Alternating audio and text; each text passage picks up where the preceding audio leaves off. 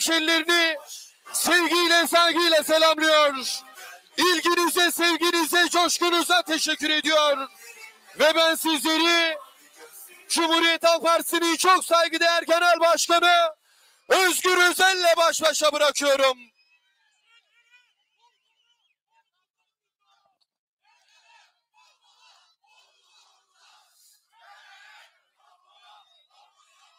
Ne güzel slogan, ne güzel gençler, ne güzel Etimeskut, ne güzel Ankara. Hepinize merhaba, merhaba, merhaba.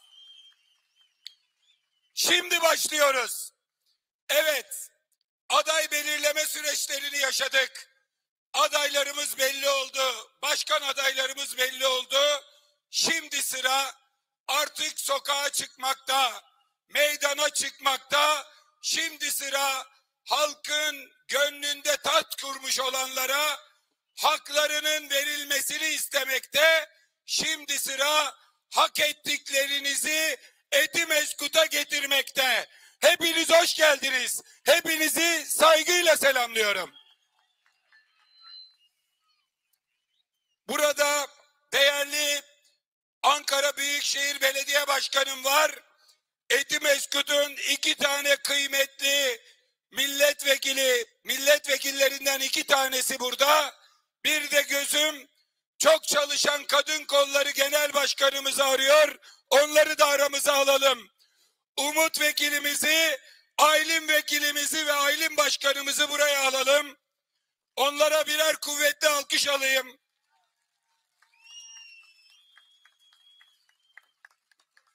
Aylin Başkanı Ankara güçlüler seviyor mu?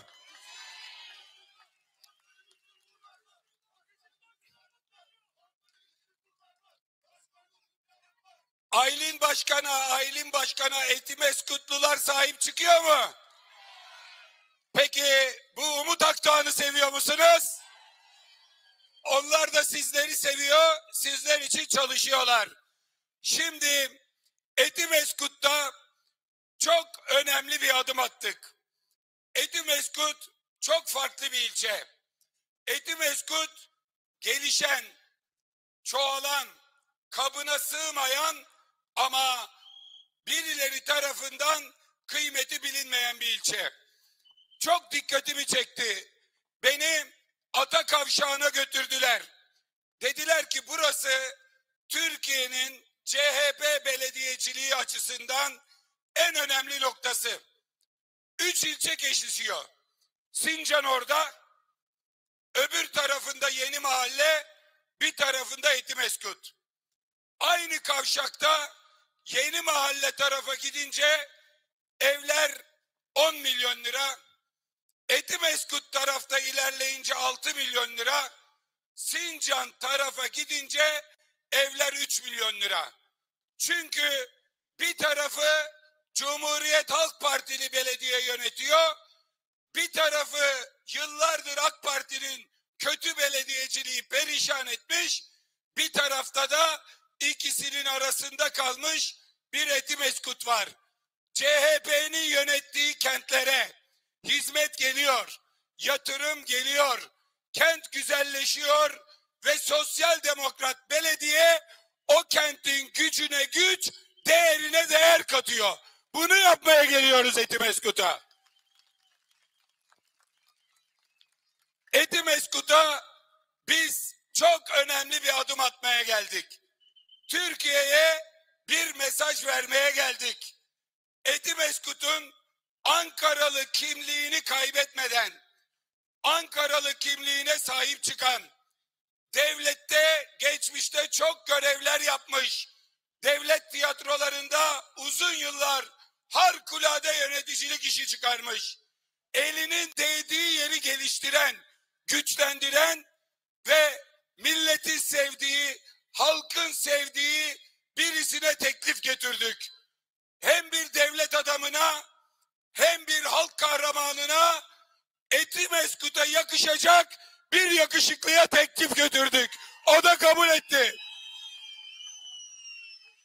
Bakın, bakın.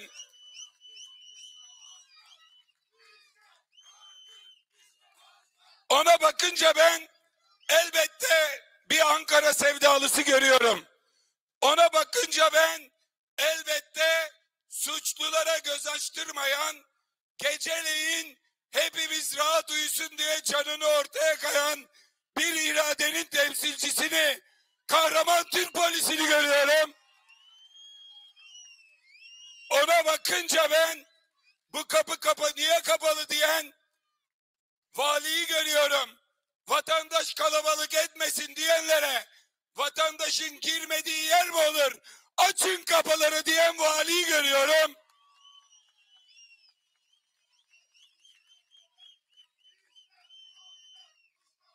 Ona bakınca ben 1 Nisan'dan itibaren Etimeskut'un yüzünü güldürecek öyle kapalı kapılar arkasında değil aranızda dolaşacak hepinizin hepinizin sevgilisi Erdal Başkanımı görüyorum.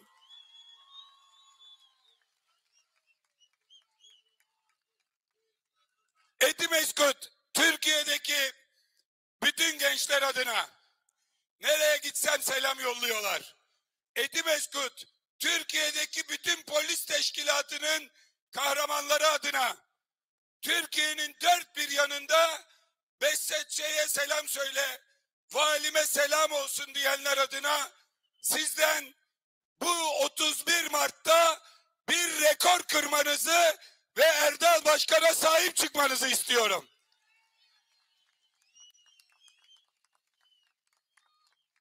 İşine devam edecek. O çok güzel oynadı. Neyi oynadı?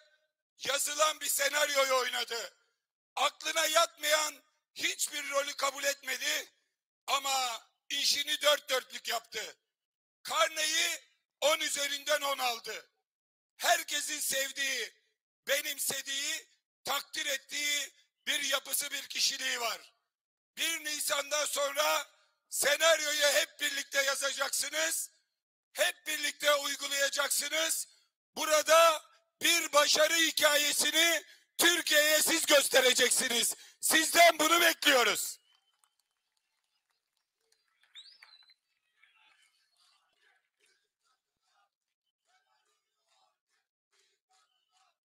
Tabii o bu görevi yaparken arkasında Etimeskut ilçe örgütümüz, Cumhuriyet Halk Partililer ama sadece onlar değil. Etimeskut'un bütün demokratlarını görüyoruz. Milliyetçi demokratları görüyorum. Muhafazakar demokratları görüyorum. Sosyal demokratları görüyorum. Etimeskut ittifakına Behzat Ç'mi, komiserimi, valimi ve 1 Nisan'ın belediye başkanı Erdal Beşikçioğlu'na emanet ediyorum.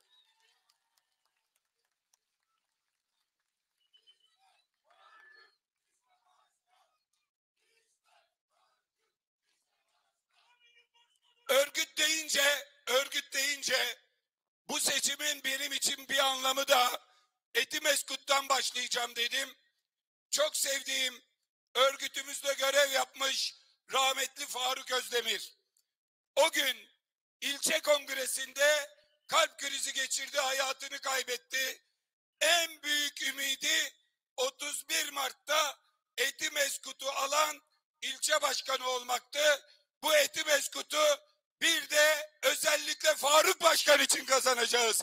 Allah gani gani rahmet eylesin. Bir kez daha hepinize kıymetli ailesine başsağlığı dileklerimi iletiyorum. Ve bütün örgütümüze bir koşacaksanız iki koşun.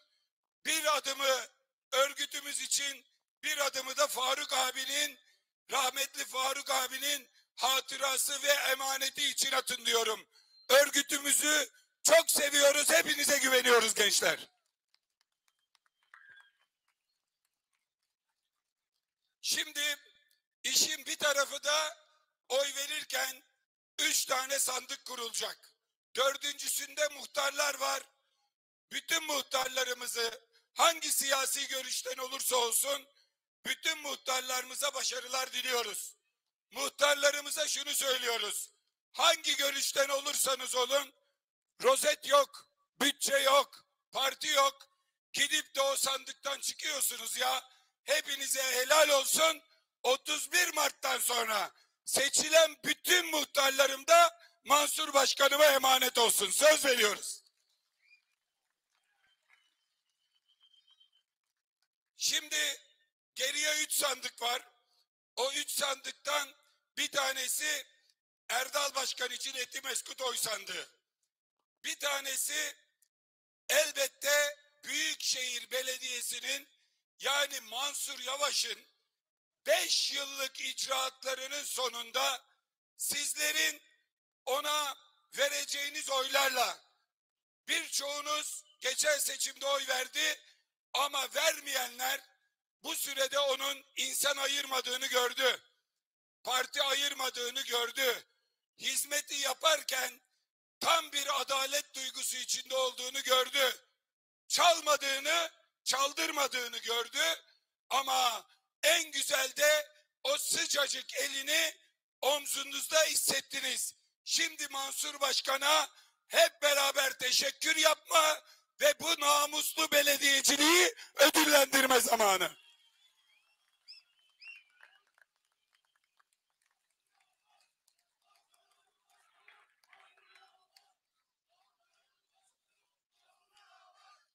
Ben Mansur Yavaş'ı Etimeskut'u anlatacak değilim. Ankara'yı anlatacak değilim. Ben onu Türkiye'nin geriye kalan diğer illerinde nasıl devlet adamlığı olunur? Nasıl bir şehrin sorunlarına hakim olunur? Nasıl popülizme kaçmadan, yalana bulaşmadan doğru dürüst belediyecilikle iyi hizmet yapılır? Nasıl israf bitirilir, tasarruf yapılır? Nasıl bir para doğru yerde kullanılır? Örnek olarak Mansur Başkan'ı bütün Türkiye'de anlatıyorum. Burada anlatmama gerek yok. Dayanışma belediyeciliğinin en güzel örneklerini verdi. Siz biraz önce Erdal Başkan'dan bahsettim. Çok iyi bir oyuncu diye. Filmlerde çok güzel kendisini ifade ediyor, hepimizi memnun ediyorum diye size bir müjdem var. Yarın akşamı bekleyin. Kendisini oynayan, olduğu gibi görünen muhteşem bir televizyon starıyla karşılaşacaksınız. Yarın akşamı bekleyin.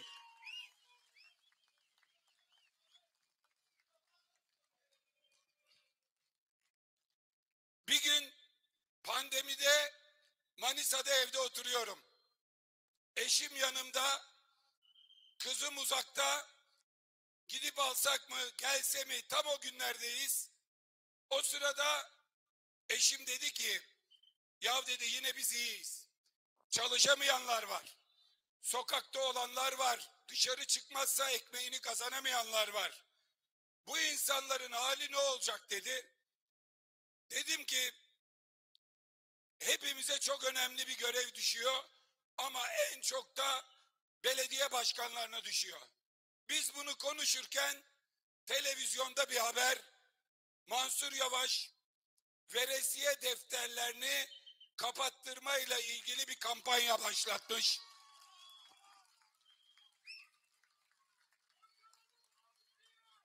Arkadaş eşime anlatamadım ya. Gırtlağım düğümlendi anlatamadım. Didem dedim senin dediğin o dışarı çıkamayan var ya çalışamayan, çiçek satamayan, gündelik işe gidemeyen, temizliğe gidemeyenin kursağından lokma geçmesi veresiye defterine bağlandı ya. Çıkınca çalışacak ödeyecek ya. İşte Mansur Başkan o veresiyeleri sildiriyormuş dedim. Şu kadarını söyleyeyim. Ben kendisinden oy olarak rekor bekliyorum. Ama ne oy alırsa alsın, ne yaparsa yapsın, siyaset ne zaman nerelere kadar en güzel yerlere layık inşallah, en güzel yerlere taşısın. Ama bu başkana, bu insanlığı için helal olsun be, helal olsun, helal olsun.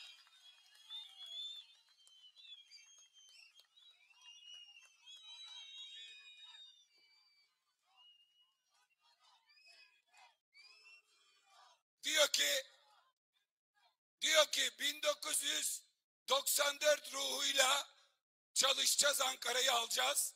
94 ruhunu geri getireceğiz. 94 Ankara'ya Melih Gökçe'yi getirdi. Giderken Bülent Arınç, Tayyip Bey'den sonraki en üst düzeydeki AKP'li parsel parsel sattın dedi. O enkazın üstüne bu baba yiğit geldi.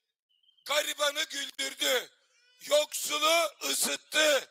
Karnı aç olanı doyurdu. Her tarafa yetişti. Allah göstermesin Allah muhafaza 1994 ruhu bir tarafa ama Mansur Yavaş belediyeciliği var ya baş tacı baş tacı baş tacı. Şimdi Etimeskut bir karar verecek. Diyecek ki günden güne günden güne şartlar ağırlaşıyor. Bu işler böyle mi gitsin yoksa bu Etimeskut'a bir el mi değsin? Bakın herkes istatistikler ortada. Üniversiteye giden öğrencilerin yüzde 88'i CHP'li belediyelerin olduğu şehirleri ilk tercih yazıyor. Neden? Ulaşım iyi, destek iyi, öğrenciye yapılan katkılar iyi, şehir güzel, temiz, harikulade. Bakın herkes hafta sonu CHP'li belediyelerin olduğu yerlere gezmeye gidiyor. Ama biz herkesi yeni mahallede, herkesi Çankaya'da ağırlayamayız. Karşıyakaya, Bakırköy'e, Kadıköy'e, Kuşadası'na götüremeyiz. Ama Etimeskutlular isterse Etimeskut'u Çankaya yapacak bir belediye başkanını ve onun arkasında duracak ağabeyini göreve getirebilirler. Bunu istiyoruz.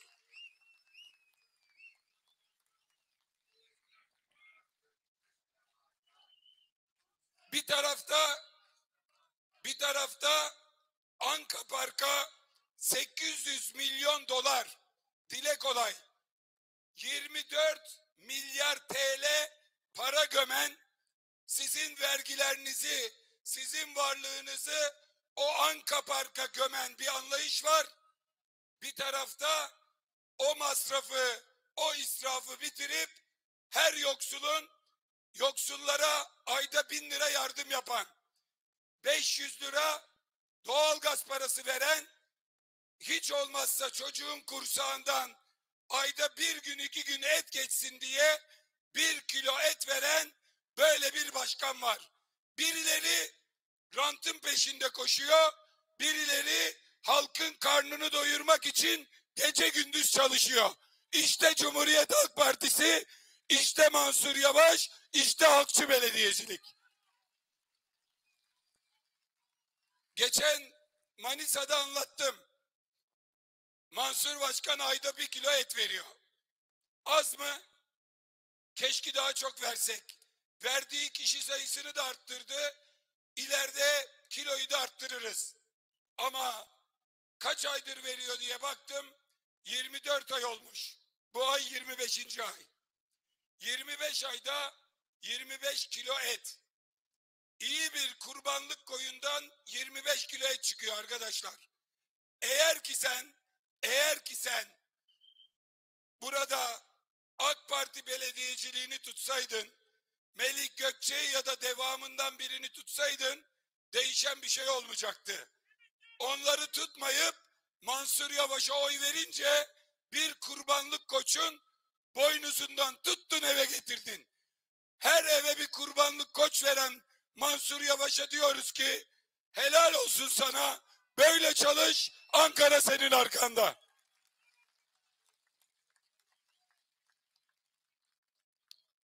Ben Etimeskut'ta ilk kez bir açık hava toplantısında konuşuyorum. Hep Etimeskut bana geliyordu. Bu sefer biz geldik. Etimeskut'ta çok sayıda gaziler ve şehit ailelerinin dernekleri var. Her salı mutlaka yanıma uğrarlardı. İnşallah müsait zamanda çaylarını içmeye gideceğim. Ama bundan sonraki süreçte hem taşıdığı kimliklerle hem bundan sonra bu işin devamında şehit ailelerinin, gazi ailelerinin Etimeskut'taki tüm taleplerinde hem çok sayıda engelli için rehabilitasyon merkezi ihtiyaçları var.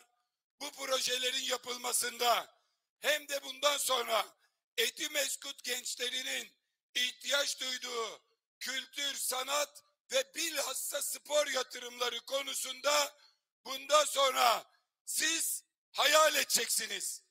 Başkan Beşikçioğlu talep edecek, projelendirecek. Mansur Başkan'la biz hep beraber bunları hayata geçireceğiz. Söz veriyoruz.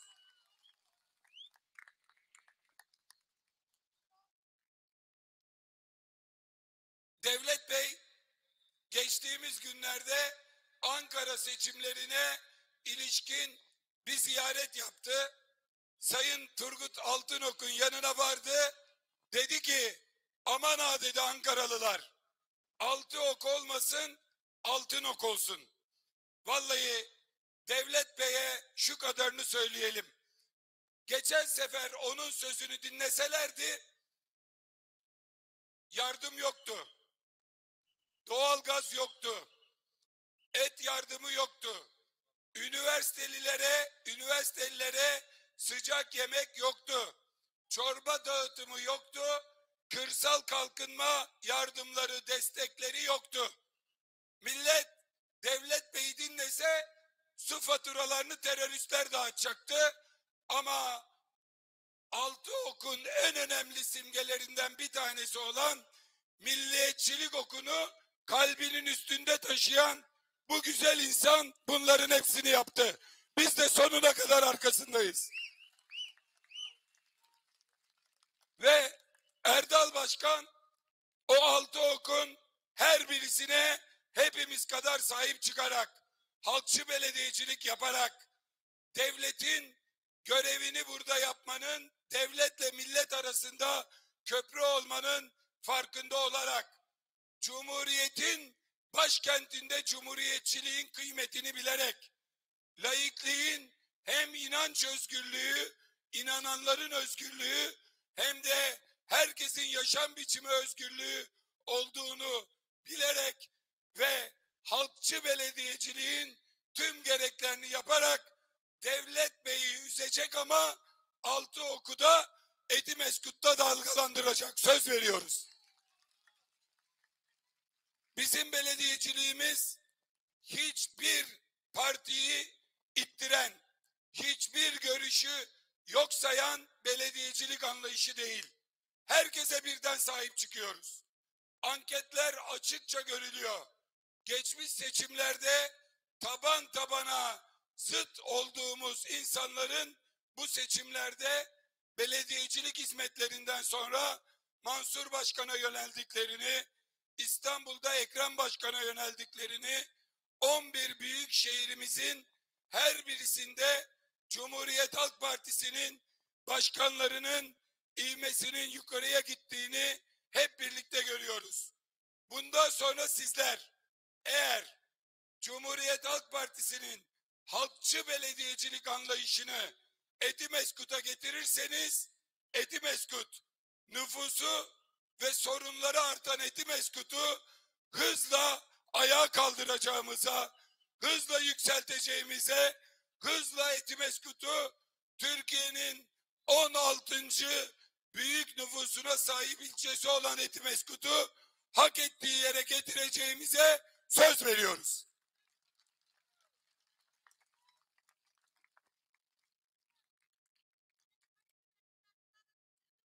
Ev sahibiyle kiracıları kavga ettirenlere inat, ev sahibinin önünde kiracının yüzünü yere eğdirmeyeceğiz. Sorunlarınızı dile getiriyoruz. Hepinizi çok seviyoruz. Siz Etimeskut'a Erdal Başkan'ı getirin. Erdal Başkan, Mansur Başkan'la omuz omuza size sahip çıkacak. Söz veriyoruz.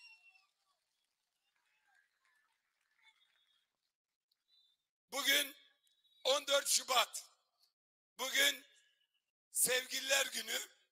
Bugün birbirini seven herkese eşlere, sevgililere günleri kutlu olsun. Herkes sevdiğine koşturuyor. Tayyip Bey de bugün Mısır'a gitmiş, Mısır'da Sisi'ye koşturmuş. Sevgililer gününü orada kutluyor.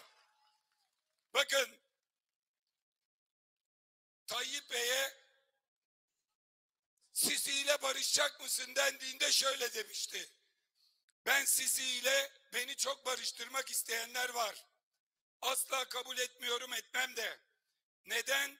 İşte bundan dolayı halkın yüzde 52 oyunu almış bir Musri ve arkadaşlarını cezaevine mahkum eden bir antidemokratla karşı karşıyayız.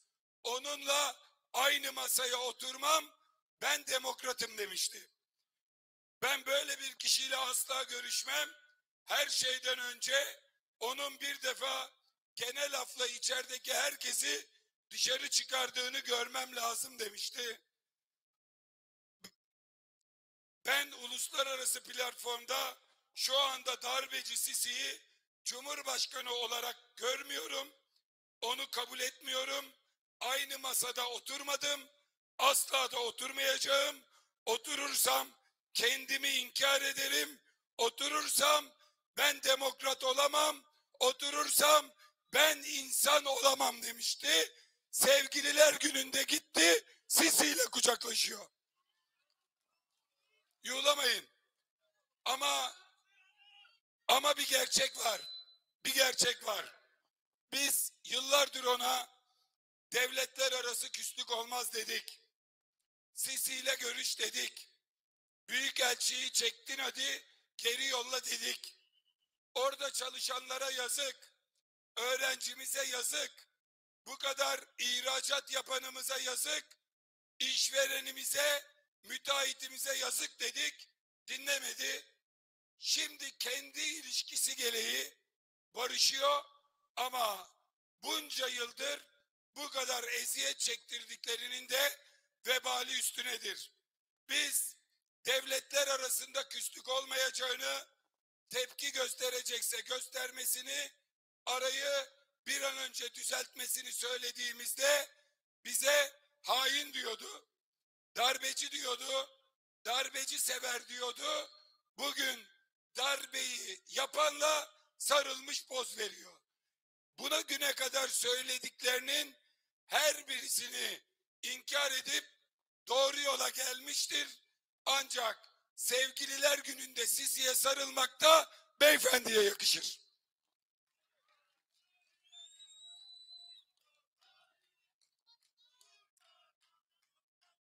Peki, peki biz sevgililer gününde ne yaptık? Eti Meskut sevgililer gününde Eti Meskut onu çok seven başkanıyla kucaklaştı. Ankara'nın sevgilileri Ankara'nın Ankara'yı en çok sevenle kucaklaştı. Şimdi bu iki başkanımızı hep beraber 31 Mart'ta bağrımıza basmaya, sandıklarda rekor kı- kırmaya var mıyız? Mansur Başkan'a Ankara'da Türkiye rekoru kırdıracak mıyız? Erdal Başkan'ı Etimeskut'un 1 Nisan Başkanı yapacak mıyız? Her ikisini Etimeskut'un güzel, çalışkan, ahlaklı, milliyetçi, vatansever seçmenlerine emanet ediyorum. Sizleri de Allah'a emanet ediyorum.